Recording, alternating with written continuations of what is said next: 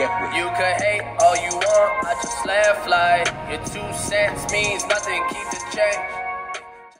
Recession proofing tip learn, learn, learn. Learn where other people are in their situation, learn about what you need to know in order to help them, and then finally, learn things of where the market might be headed out to. So for some people, it might be understanding where is the current commercial real estate business? What's going on in that? How it's being affected? Where's the growth opportunities? And then for you, what are the different solutions and services that you can offer that help bridge some gaps that exist in that industry? And then finally, as I look at where things are going to be headed, work, what can I be leveraging and take advantage of?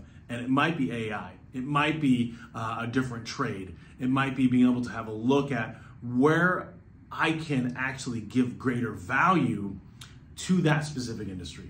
Learn, learn, learn. Sherman out.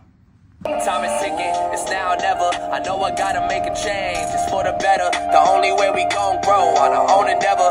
We just tryna live our dreams, but they won't let us.